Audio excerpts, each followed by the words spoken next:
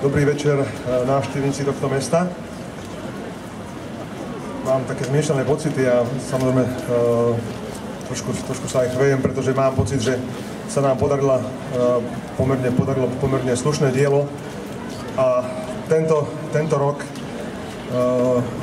Samozrejme, už aj v Lani sme začínali a budem rád, ak budeme pokračovať aj ďalšie roky, ale tento rok je taký špecifický, pretože stojím tu preto, aby som uh, bol ten človek, ktorý, ktorý bude mať to, to právo povedať, že zapálime, zapálime Vianočnú dedinu.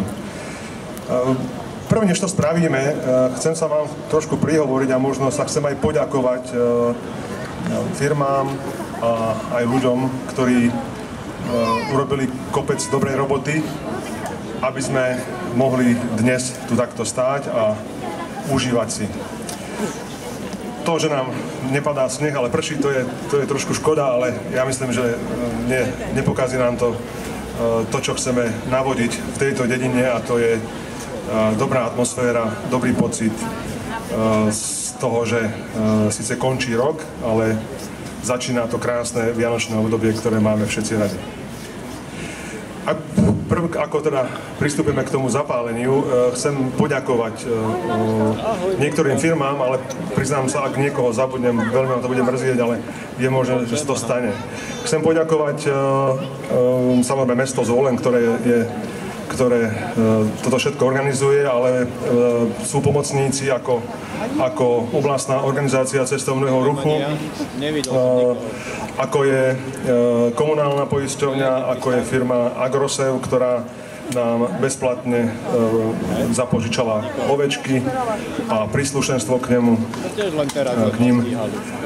Samozrejme, nie je to len mesto Zvolen, ale je to aj, aj organizácia, ktorú sme založili na práve, práve na to, aby, aby sa v meste Zvolen organizovali podujatia a to je Zvolenské kultúrne centrum, ktoré sídli e, v priestoroch Starej radnice.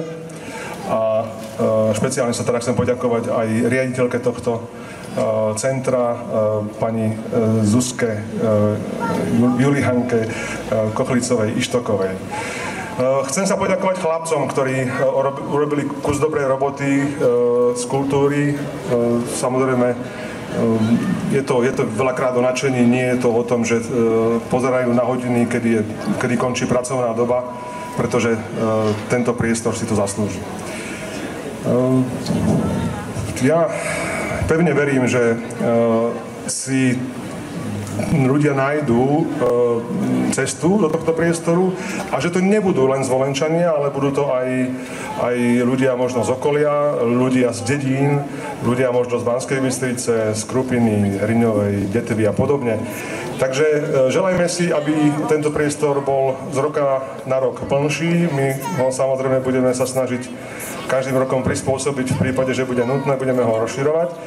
Ehm, zatiaľ sa nám zdá, že tento priestor je postačujúci a vytvorí tú správnu ehm, atmosféru Vianoc. Tak, aby nebolo už tých rečí veľa, tak ak sme pripravení, môžeme, Danko? Takže dovolte, aby som to odpočítal a zapálime, zapálime dedinu, takže ideme na to. 3, 2, 1, teraz! Postupne. A už sa to zapaluje, ale hlavne čakáme na nebo. Vianočné nebo. No, super, super. Ďakujem krásne. Všetkým prajem príjemné Vianoce a nech, nech sa máme na čo tešiť po stromčeku.